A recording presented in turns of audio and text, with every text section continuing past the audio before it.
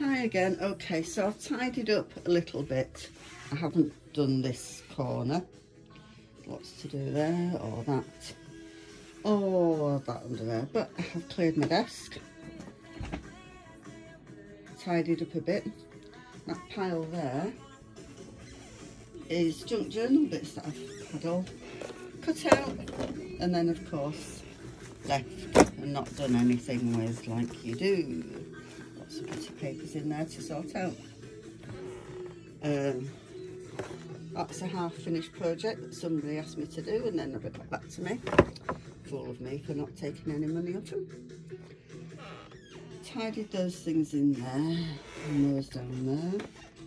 Let's see, I've got my little ladders just in case I need to get right up there and I haven't tidied that much but I have uncovered my Lucy Clay Mammoth which I'm quite pleased about.